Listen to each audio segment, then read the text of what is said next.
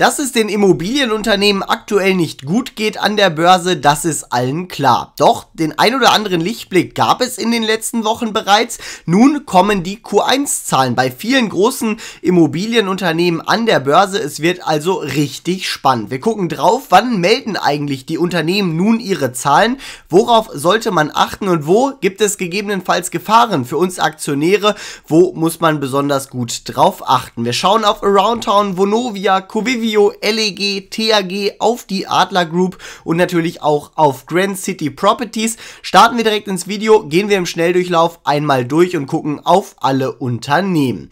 Vorher aber wie immer der Hinweis, das Ganze hier ist natürlich keine Anlageberatung und auch keine Anlageempfehlung. Jeder muss für sich eigene Anlageentscheidungen treffen. Die Videos, die dienen nur der Unterhaltung und Investition, können natürlich in jedem Fall immer zu einem Totalverlust führen.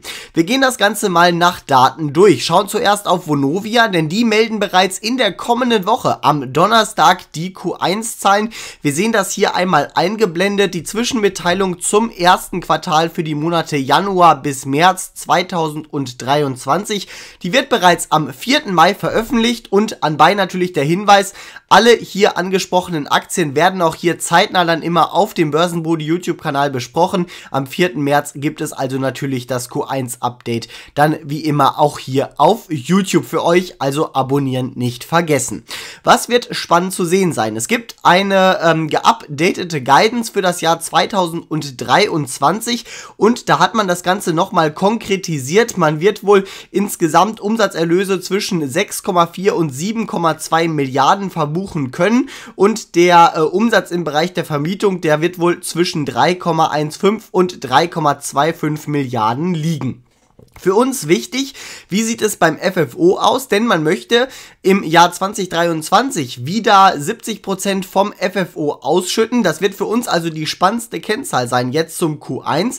Denn daran lässt sich erkennen, wo man ungefähr am Jahresende rauskommen wird. Aber nicht nur das wird spannend zu sehen sein, sondern auch die Nachricht von vorgestern, vom 26. April. Video gab es ja hier auf dem Börsenbrudi YouTube-Kanal zum Thema ähm, des Verkaufs äh, Apollo beziehungsweise an eine von Apollo verwaltete Gesellschaft. Man hat insgesamt ein Drittel eines Portfolios mit insgesamt 21.000 Wohnungen in Baden-Württemberg für eine Milliarde verkauft und das sehen wir hier nochmal eingeblendet. Damit hat man jetzt die finanziellen Mittel für das Jahr 2023 bereits zusammen durch die Südevo-Transaktion in Höhe von einer Milliarde, aber man möchte noch 300 Millionen an Development ähm, Aufträgen verkaufen und eine Milliarde an weiteren Assets. Das wird spannend zu sehen sein, ob es hier vielleicht schon weitere Informationen gibt. Bis jetzt sieht es wirklich ganz gut aus. Sind wir gespannt, was in der nächsten Woche dann von Vonovia vermeldet wird, ob man hier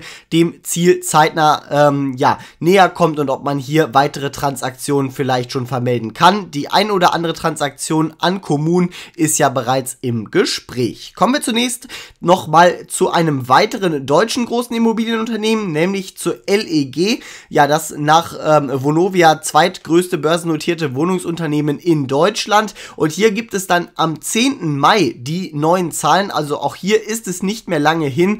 Dann gibt es die Quartalsmitteilung zum ersten Quartal. Es geht also Schlag auf Schlag bei den Immobilienaktien und am 10. Mai werden wir dann genauer darauf gucken, wie es mit der ebenfalls hier auch aktualisierten Guidance für das Jahr 2023 2020 aussieht. Man hat das Ganze ja nochmal konkretisiert.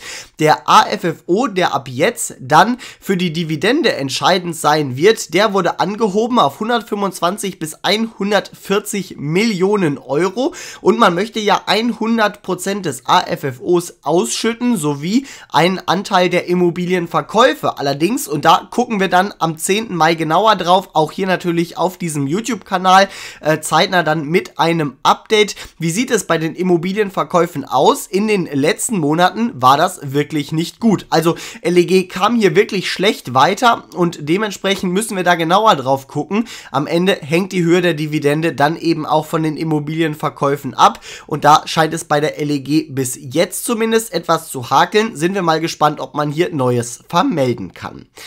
Nachdem LEG die Zahlen vermelden wird, kommt dann auch TAG Immobilien, ein Immobilienunternehmen aus dem Großraum Berlin, aber vor allem eben auch aus dem Osten Deutschlands mit dem sogenannten ABBA-Prinzip. Die vermelden einen Tag später, am 11.05. ABBA-Prinzip bedeutet, in A-Städten investiert man in B-Lagen und in B-Städten investiert man in A-Lagen. Und die TAG, die ist ja auch nach Polen gegangen.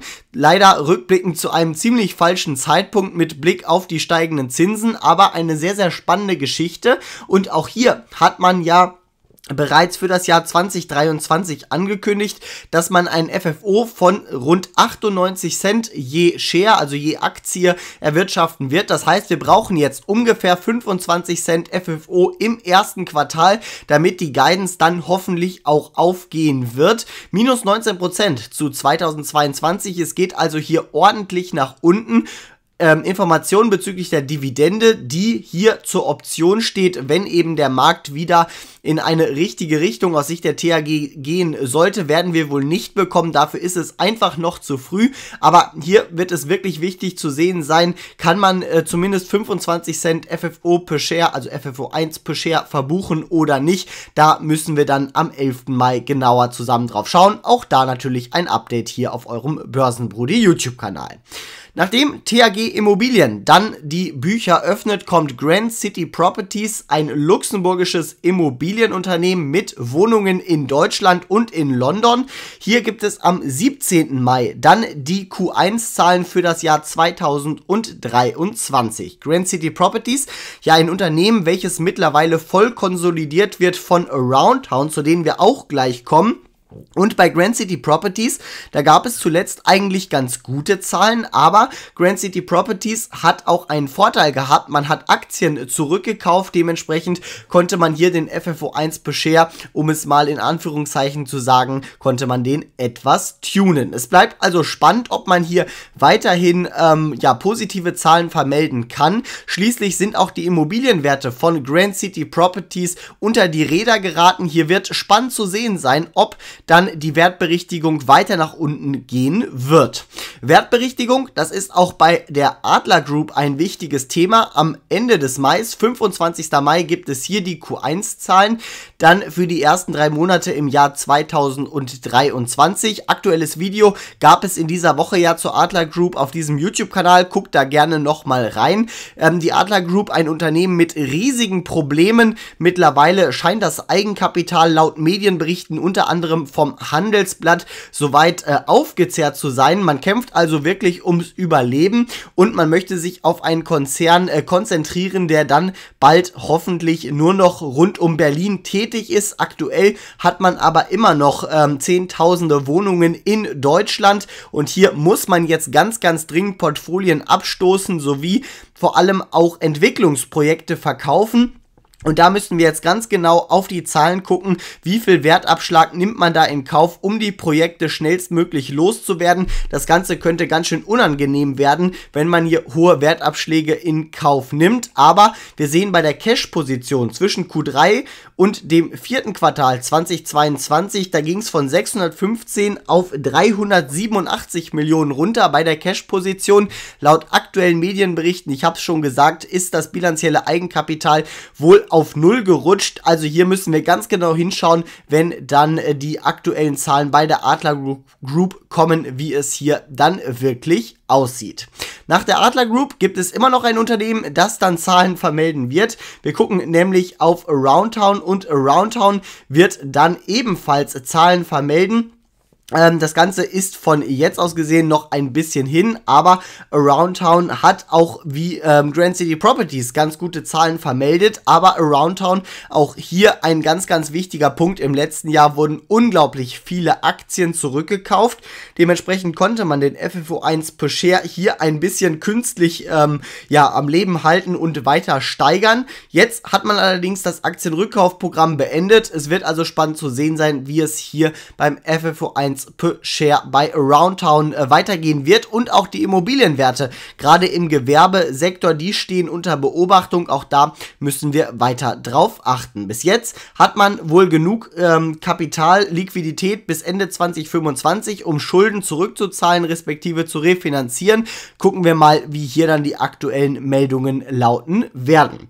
Zum Schluss, und da ist es jetzt noch ein bisschen hin, nämlich bis zum 20. Juli, da müssen wir also uns noch ein bisschen gedulden, rund zwei Monate, dann meldet auch Covivio, ein französisches Immobilienunternehmen, unter anderem mit Zehntausenden Wohnliegenschaften in Deutschland, im Ruhrgebiet, aber auch in Berlin und in einigen Städten im Osten Deutschlands. Und hier wird es ebenfalls spannend zu sehen sein, wie sieht es aus mit dem Wertberichtigungsbedarf? Gibt es da schon aktuelle Kennzahlen und vor allem, wie sieht es aus bei den Mietsteigerungen? Im aktuellen in der aktuellen Präsentation von Covivio sagt man in Berlin, da sieht es ganz gut aus, 5% Steigerung bei den Mieten, aber auch beim Mietpreisindex, da kann man in München plus 21% aktuell feststellen, in Dresden plus 6%. Da wird es also spannend zu sehen sein, wie viel kann man dann wirklich an Miete aufschlagen bei den Wohnungen in Deutschland, aber natürlich auch bei den Hotels und bei den Offices, also bei den Büros, die man bei Covivio hält, ein Unternehmen in vielen europäischen europäischen Ländern aktiv. Auch da gucken wir dann Ende Juli genauer drauf. Euer Favorit gerne schon mal unten in die Kommentare. Welche Aktie findet ihr am spannendsten? Ich hoffe, ihr habt einen kurzen Überblick bekommen, wann welche Unternehmen melden. Das Ganze, wie gesagt, jetzt einmal von den Daten her äh, chronologisch aufgezeigt und wir werden auf alle diese Unternehmen dann hier genauer eingehen. Sobald die aktuellen Zahlen da sind, dann gibt es eine genaue Analyse dazu. Also abonnieren nicht vergessen und vor allem auch die Glocke drücken, dann verpasst ihr hier keine aktuellen Updates mehr zu den Immobilienaktien, die ihr hier eingeblendet seht. Lasst gerne ein Abo und eine Bewertung da, eure Kommentare gerne unter dieses Video. Macht es gut, bis zum nächsten Video und schon mal ein schönes Wochenende.